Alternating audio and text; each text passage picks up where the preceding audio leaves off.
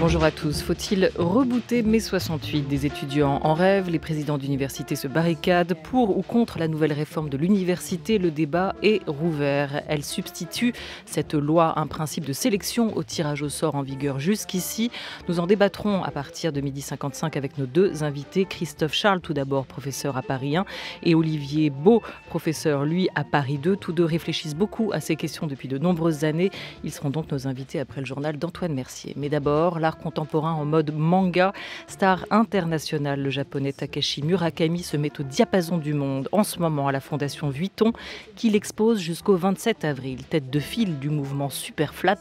il s'est fait connaître avec ses toiles monumentales et son style kawaii, exubérant, provoquant. L'artiste plasticien nous ouvre grand les portes de son imaginaire. Takashi Murakami en direct tout de suite dans la grande table à écouter sur France Culture.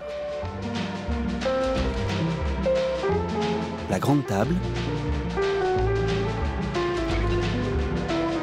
Olivia Gesbert. Une exposition à voir à la Fondation Louis Vuitton, exposition de Takashi Murakami en trois parties, autour du dob, tout d'abord son alter ego, cette souris malicieuse, autour ensuite de l'esthétique kawaii, avec notamment deux sculptures en résine, les Kakai Kiki, de personnages emblématiques de sa galaxie, de gardiens spirituels. Enfin, une dernière pièce, avec sa dernière grande création, une fresque monumentale achevée l'an passé, The Octopus Eats Its Own Leg, la pieuvre qui mange sa propre jambe c'est peint à l'acrylique avec des feuilles d'or et de platine sur toile. Moshi Moshi, bonjour Takashi Murakami. Ah, bonjour. Et bonjour à votre voix française, Kikwe Yanagisawa. Merci à vous d'être avec nous. Peut-être. Bonjour. Peut-être faut-il d'abord, Takashi Murakami, nous expliquer le titre de cette grande fresque qu'on a l'occasion de voir pour la première fois ici en France, The Octopus Eats Its Own Leg, la pieuvre qui mange sa propre jambe. D'où vient cette fable 話どこから来てるんでしょうかあの今日これあの通訳の方とやっててすごい短くって言われてるんですけど特にこの話はちょっと長くなっちゃうんでいいですかね Oui donc là, pour par rapport à la, la traduction euh, il était il était prévu de parler court, court mais en fait ce, cette histoire c'est une longue histoire donc permettez-moi de parler longtemps Commençons あの、はい、どうぞ えーとまあ、自分、えー、29歳の時に現代美術作家としてデビューして、えー、2年ほどして31歳ぐらいの時にミスター・ドブというキャラクターを発明しました。Donc d'abord, j'ai débuté à l'âge de 29 ans. J'ai commencé à créer mes œuvres et j'ai créé Monsieur Dob à l'âge de 31 ans. そのあのミスター・ドブというキャラクターはアメリカのあのランゲージアートを基本にしたあの、まあ、メッセージアートの、まあ、パロディみたいなものでした。Donc, en fait, c'était une sorte de l'art de message qui était les parodies de l'art de langage qui était très à la mode à l'époque.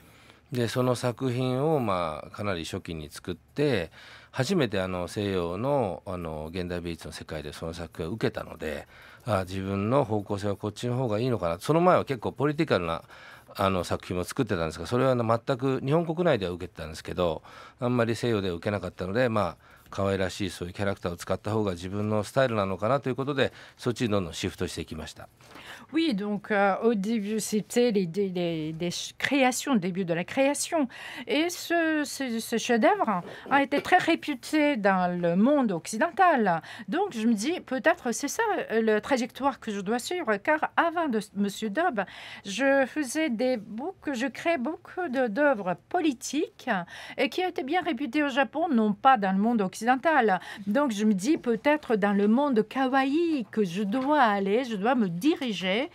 pour euh, avoir euh, le développement de ma carrière. まあ、あのその間 自分の作品の正当性を持つためにスーパーフラットであるとかいろいろなこうあのロジックを組み立ててきましたが現在56歳になるまで、まあ、約まあ30年ぐらいずっとあの同じようなキャラクターを何度も何度も使ってきた自分に対する自虐的なあのまさにこう日本のことわざのような感じであのタコが自分の足を、まあ、8本あるのであの最後の3本ぐらいあれば生きていけるんじゃないかということであとの5本は食べちゃえみたいなそういうタコの自虐性みたいなものを自分の今の芸術家としての姿に合わせ持ってそのタイトルをつけてみました。Oui, donc pour argumenter mes, œuvres, mon trajectoire, j'ai fait plusieurs logiques, c'est pas flat ou bien d'autres qui sont connus. Euh, maintenant, j'ai 56 ans, donc cela fait 30 ans que j'utilise le même thème, même icône. Donc, euh, si vous voulez, euh, j'ai utilisé ce thème de pieuvre marge ses tentacules dans le sens de autocritique. Parce que vous savez, au Japon, un dicton dit que le pieuvre mange ses pattes. Les, vous savez, la pieuvre, euh, normalement, euh, on a des pattes, huit pattes, mais il mange euh, ses pattes quand il n'y a rien à manger et en laissant deux, trois quand même survivre. Donc, je me dis, c'est comme la pieuvre qui mange ses tentacules. Voilà, j'ai choisi, j'ai exprimé mon art un peu à travers le, cette pieuvre euh, avec le sens de autocritique. Donc vous êtes la pieuvre, vous étiez un peu affamé. oui. Et qu'est-ce qui vous a nourri du coup あのまあタコの意味はちょっとまあ最近あのナショナルジオグラフィックスで読んだんですけれどもあの地球のなんか あの遺伝子じゃないものが入ってる、まあ、よく火星人がタコに似てるようなのが1940年代50年代のサイエンスフィクションの雑誌の表紙になってましたけどそれは結構事実なんじゃないかっていう記事を読みましてちょうど制作品を制作してる最中なんですけどその意味で今やっぱり芸術って何だろうって自分の中であの自問してる時にタコのような、まあ、地球外生物的なものもあの作品の中に入れ込むと何か変化が起きないかなっていう期待もありました。Oui, donc euh, d'avoir euh, le sens de la pieuvre. En, fait, euh, pendant la période que je crée ce, chef-d'œuvre, j'ai lu le National Geographic et il, y avait une thèse qui disait qu'il y a des gènes extraterrestres dans la gène de pieuvre. donc très souvent, le martien est caricaturé en pieuvre. Donc je me dis, je cherche toujours le grand thème de ce que c'est l'art euh, je me pose des questions et peut-être c'est la pieuvre euh, que je dois chercher. C'est intéressant d'entendre votre interprétation euh, de votre fresque, cette pieuvre, justement, Takashi Murakami et de la comparer ou de la mettre en miroir avec euh, celle donnée par euh, la direction artistique de la Fondation Vuitton. On nous y rappelle que quand même cette grande fresque est empreinte des mythes fondateurs, qu'elle est euh, notamment imprégnée de toute cette mythologie traditionnelle chinoise qui raconte aussi l'histoire des huit immortels de la religion taoïste tout cela en prise, et ça c'est ce qu'on peut voir avec une faune, un bestiaire merveilleux, une flore surnaturelle et féerique, mais on y retrouve aussi les influences, l'esthétique des estampes japonaises que vous rendez très contemporaine, cette iconographie traditionnelle que vous réinterprétez une fois encore à travers une fable dont on pourrait dire qu'elle questionne quand même la place de l'homme aujourd'hui dans le monde. あのまあ一つ僕の作品の中で一番特徴的なのはあの非常に大きいスケールのペインティングであるということですね。Oui, premièrement, je, la particularité de mes œuvres, c'est la grande taille. Euh, la peinture de grande taille. 例えばあの日本のあのすごく大あのお得意なのは小さな絵画とかもちろん版画もそうなんですけどそういうのはお得意なんですよね。Mais or, la spécialité des artistes japonais sont des petites œuvres, notamment des estampes, toujours tout petits. あの建築とあの芸術特に絵画っていうのは結構似ていて大きい絵画作品を作るのは高層ビルディングを作るのと同じように Mais vous savez, l'art et l'architecture, il y a des points communs, ça ressemble. Euh, si on veut faire une grande peinture, il faut intégrer l'architecture comme si je fais le gratte-ciel dans, dans ma peinture. まあ、つまりあの小さいものを大きく伸ばすと間延びしてしまって画面が持たなくて鑑賞者が飽きてしまうっていう構造になってしまうのをどのように飽きが来ないようにするかということが目線の誘導によってあの補われる、まあ、つまりそれがアーキテクチャなんですけど。Oui, donc si je fais d'avoir un mode petit modèle et que si je agrandis tout simplement, les publics, ils s'enlacent très vite. Mais ce qui est important, c'est comment on conduit les regards de public pour les, quand la peinture est de grande taille. C'est ça l'architecture de la peinture. まああのこれいいですかねこれずっと僕この話やってて。peux continuer à parler? Un petit peu? あのあ少しあのそれであの八千図の話もなされましたけどあもちろん日本の版画であるとかあの中国から日本に輸入された、えー千人の図、まあ、中国の文人画の図なんですけれどもそういうものを使っていて僕が一番表現したいのはやはり文化がこう渡り歩いていく時にどんどんその表面的にもあの内実的にも変化していくっていうことが一番大事なメッセージだと思ってそれがあのあの作品の一番のあの大事なコンセプトであります。Oui, donc vous avez parlé du immortel, euh, mais bon, la base de mes, mes dessins immortels fondés sur la, peinture des, des artistes japonais d'autrefois. Mais c'est vrai, d'origine, ça vient de Chine. Ça été importé de la Chine au Japon, euh, mais d'origine de d'origine, c'était la peinture des lettrés chinois. Mais ce qui est très important pour moi, pour la culture, c'est que au cours de son trajectoire développement, l'histoire de développement de la culture, il faut qu'il y ait un changement superficiellement, les contenus. C'est le changement qui approfondit la culture. Pour moi, c'est ça qui est important. つまりあの大きい作品を作るというのは西洋のアーキテクチャの構造でそこに東洋のあのいろいろな文人画的な、まあ、いわゆるあのナラティブなところをすごく重要視している作品を あの定着させるっていうのが一番大事なトライアルのそれがあの作品のあの一番大事なポイントです。 Donc, là, en revenant à mon, mon, mon œuvre, La Pieuvre, ce qui est très important, c'est qu'il intègre à la fois l'architecture, l'aspect élément architectural occidental adapté pour les grandes tailles, l'œuvre de grande taille, mais en même temps, il donc intègre la culture japonaise utilisée dans la peinture lettrée chinoise. Donc, c'est un mélange, combinaison de deux cultures. Takashi Murakami, cette euh, œuvre, cet octopus, cette pieuvre, Taco. fait aussi écho à, à l'une de vos précédentes euh, fresques. En 2015, à- à Roppongi, vous présentez pour la première fois une fresque picturale de 100 mètres de long en réponse à la catastrophe de Fukushima de 2011.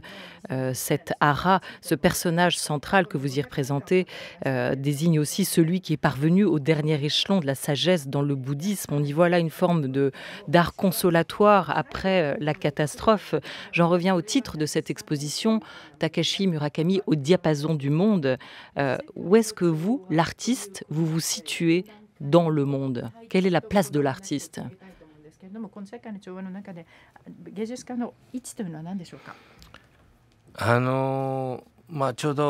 AI とかが今出てきてちょうど23日前に、あの AI のすごく賢いのがに、えー人物の抽象画を描けって言ったらフランシス・ベーコンそっくりな絵が出てきたんですよね。Oui, donc euh, justement là, euh, là, il y a, on, voit- on constate le développement d'intelligence artificielle et il y a deux, trois jours, euh, quand on a donné l'ordre l'ordre de dessiner le- la peinture autoportrait de quelqu'un à l'intelligence artificielle, il a fait la peinture copie-collée de Francis Bacon. つまりそれはでも見た目にベーコンに似てるけどもじゃあそれがあの美術館の壁にかかっていて感動するかっていうのは非常に 難しいことじゃないかなとも思いました。Bien sûr, la copie-collée, euh, la visuelle est le Francis Bacon, mais si cette œuvre exposée sur le musée, est-ce que le public, ça touche l'âme du public Je me demande. あのですから例えばその芸術においてもある程度までは演算できるかもしれないがまああの AI がもっともっと進化すれば芸術のレベルまで演算が可能になるかもしれませんけれどもそうではなくてもうちょっとそのムードとか雰囲気とかその作家が持っている本当にちょっとした情動みたいなもので人っていうのは感動するのかなとそういうものを、まあ、人は調和とかっていうのかなと思ってでそういうところが一つの接点かなと思います。Oui, donc euh, je pense que pour, à l'heure actuelle des choses, euh, le calculer l'art, c'est encore quelque chose euh, pas possible. Peut-être dans l'avenir, quand l'intelligence artificielle sera encore plus développée, peut-être ça sera possible. Mais en fait, l'art, c'est ça intègre l'ambiance, l'environnement, les sentiments de l'artiste dedans. C'est ça qui touche l'âme de visiteur, l'âme, ce qui euh, contemple euh, la peinture. Donc, c'est ça au diapason du monde. Et c'est pas demain que les robots remplaceront euh, les artistes. Il leur manque peut-être cette âme. Takashi Murakami, le numérique, les réseaux sociaux ont marqué la culture visuelle de ces dernières années. Ce nouveau rapport à l'image, est-ce que vous l'intégrez euh, quand même à votre réflexion picturale, se mettre au diapason du monde Est-ce que ça euh, vous engage à vous protéger de ce type de tendance du moment ou au contraire à essayer de les intégrer dans votre art? 対して自分を守っていくんでしょうか？それもそれも取り込んでいこうとしていらっしゃるんでしょうか？あのあの時計の業界っていうのはすごくあの象徴的だと思います。1970年代に日本がやっぱりクォーツっていうものを取り入れてあの世界の時計業界を一回席巻したんですけどもそれ行き過ぎてしまって要するに時計は正確に時を刻むものっていうことの概念に突き詰めた結果、まあ、そのマーケットは一つ終わりで1990年代中盤からまたスイスの複雑な時計が、まあ、要するに嗜好品として高級嗜好品として流行ってきたじゃあそれはなぜなぜなのかというとそれこそが芸術の一番こうその差っていうのが芸術であるかないかの一番分かりやすいあの差別化じゃないかなと思ってます。Oui, donc là, je cite un exemple très euh, facile à comprendre, c'est la montre. 70, le fabricant des montres japonais a inventé quartz, donc euh, tout le monde a fabriqué les montres en quartz et on allait trop loin. Euh, à l'époque, c'était la conception, c'était la montre et la pour montrer l'heure. C'est tout. Donc, c'est vrai qu'on était numéro un, le, marché constituait ça, mais or, les années 90, il y avait le retour. Les fabricants suisses commençaient à revenir à l'origine et la montre a repris la place de quelque chose avec mécanique compliquée, quelque chose de, euh, de luxe, quelque chose de sentimental. Il y a d'autres aspects qui a été retrouvé par euh, les publics. Donc voilà, c'est ça la différence en termes de l'art. L'art, c'est ça. J'ai pas compris. その 芸術がその差であるというのがよく分からなかったんですけれども。まあ要するにあの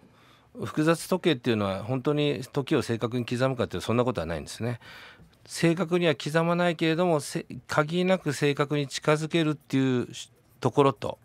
それとあの見栄えとして非常に複雑なもんであったりその時計が好きな方のテイストに近づいていくっていうことで非常にこう奇妙奇天烈な進化を遂げていくんですけれども芸術もまた似たように奇妙奇烈な進化を今遂げているんですね。あの芸術っていうのはこういうもんだっていうあの、まあ、要するに例えばミニマルアートだったらミニマルアートのこういうルールがあるとかいろいろありますけれどもそれとはやっぱり逸脱していく新しいルールっていうのがあったりしてその揺らぎっていうのがすごくあの芸術として大事なんじゃないかなと思います。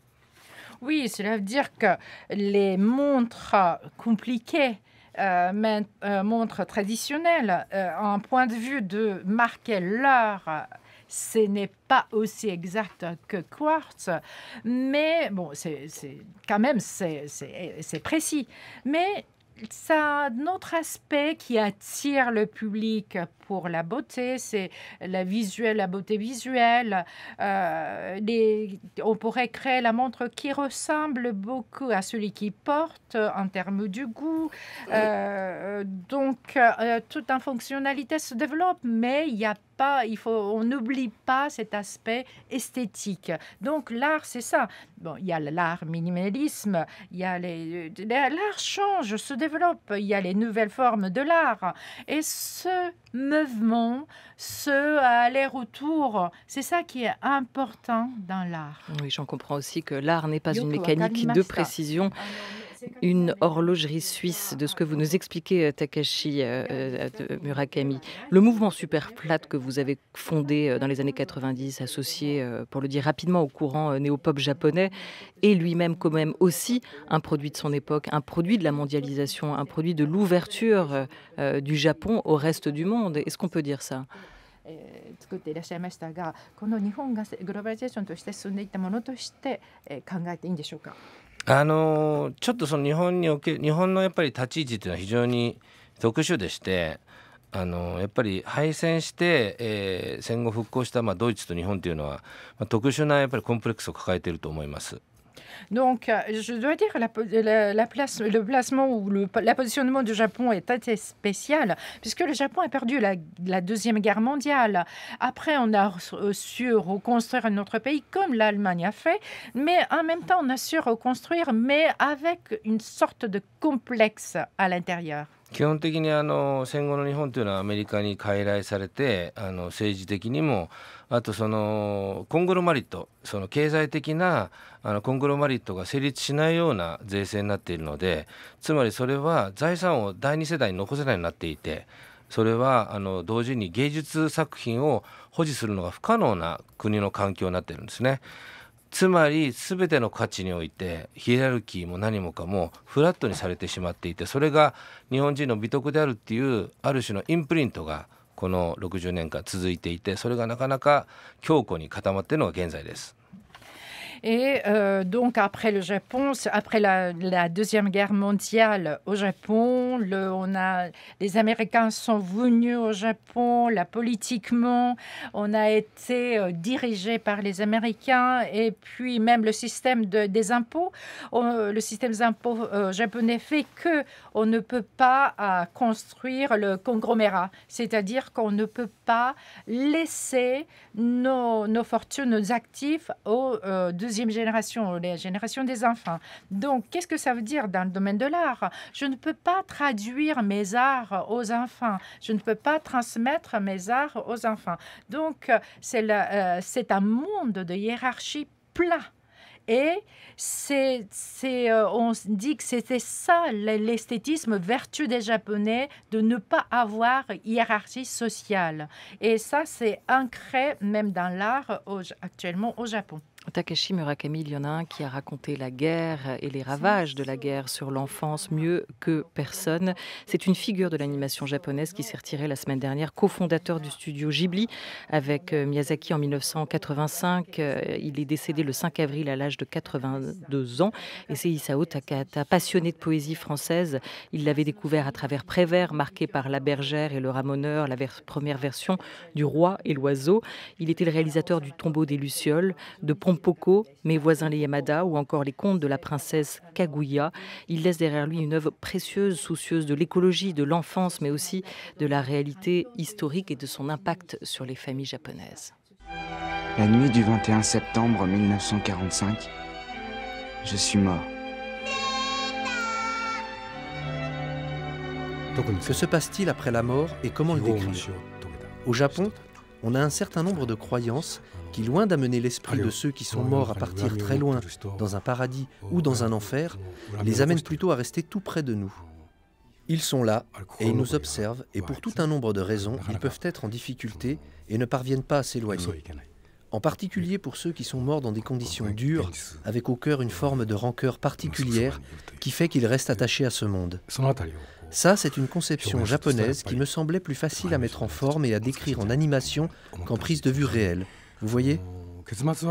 Au final, le film a aussi cette dimension tragique et a ouvert une voie à une époque où la tragédie n'était pas forcément un registre très présent dans l'animation,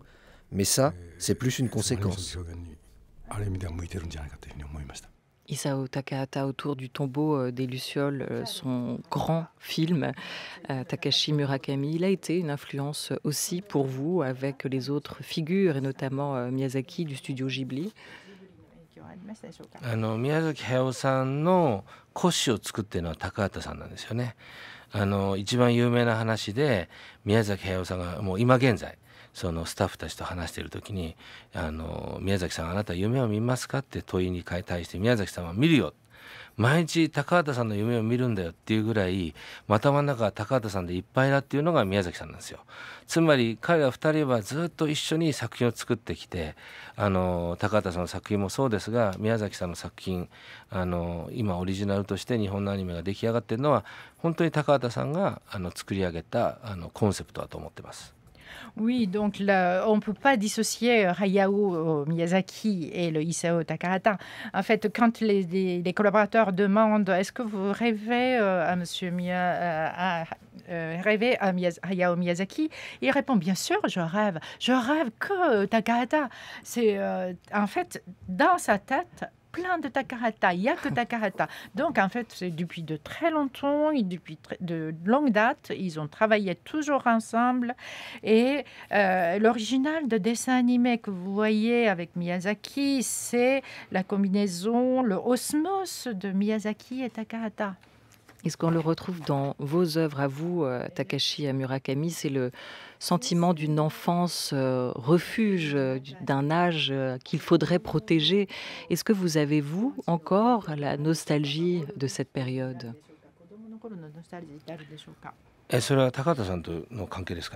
C'est un lien avec Takahata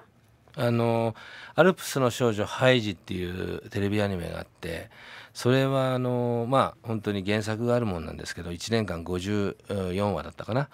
ずっとそれをあの話をの引き伸ばしていかなきゃいけないんですけどもその引き伸ばす一番のポイントはあの当時のあのドイツのドイツとスイスの社会のリアリティでしたつまり社会のリアルの中における悲しいことあの非常に悲惨なことっていうのもハイジのストーリーの中に詰め込むというリアリズムがあの彼の特徴だったのでそういうものがすごく影響を受けましたね。Oui, donc là, je cite un exemple de Heidi. Euh, bien sûr, il y a un livre d'origine sur le régie, mais ça a été une série de dessins animés sur la télévision de 54 histoires. Euh, donc, il y a l'origine, l'histoire de l'origine, mais ça a été donc reconstitué pour que ça soit 54 euh, histoires. Mais ça, projette la réalité euh, la relation entre l'Allemagne et le Suisse de l'époque. Il y a des tristesses, il y a des misères, il y a des tout. Donc c'était le fond, c'était le réalisme de cet endroit, de cette époque. Takashi Murakami, des toiles saturées euh, de couleurs, traversées de multiples histoires, comme vous-même, histoire occidentale, tradition japonaise, pop culture. Euh, on se dit que vous êtes euh, un artiste traversé par tous ces courants, excentrique aussi parfois par votre tenue vestimentaire. Il n'est pas rare que vous portiez, vous, des habits au motif de vos œuvres, comme le jour du vernissage de votre exposition The Octopus à Vancouver en février dernier. Une dernière question à vous poser. Est-ce que votre œuvre est-elle et c'est-elle l'extension de vous-même ou est-ce que c'est vous qui êtes devenu un prolongement de votre œuvre aujourd'hui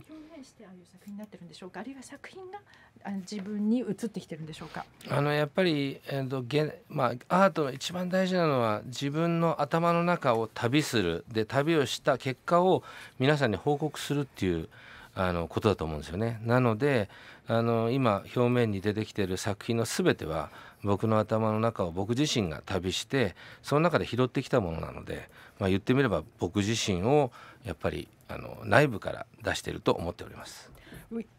De, ce qui est très important, c'est que euh, dans l'art, c'est le résultat de voyage de l'intérieur de mon cerveau, de ma tête. Euh, c'est ça que j'exprime pour les autres. Donc, ce que vous voyez sur, dans mes arts superficiellement, c'est le résultat de voyages, mes voyages de ma tête. Et j'ai fait le voyage partout dans ma tête, j'ai ramassé par-ci, par-là, et c'est ça que j'ai mis sur mes œuvres. Voilà, donc j'exprime moi euh, à travers les œuvres, surtout comme résultat de mes voyages. Au diapason du monde, une exposition à voir à la Fondation Louis Vuitton avec tout un étage consacré à ces trois parties, trois œuvres de notre invité Takashi Murakami, euh, aux côtés euh, de Pierre Huyghe, de Christian Boltanski, de Mathieu Barnet ou encore de Maurizio Catellan. À voir donc jusqu'au 27 août à la Fondation Louis Vuitton. Euh, Murakami-san, merci beaucoup.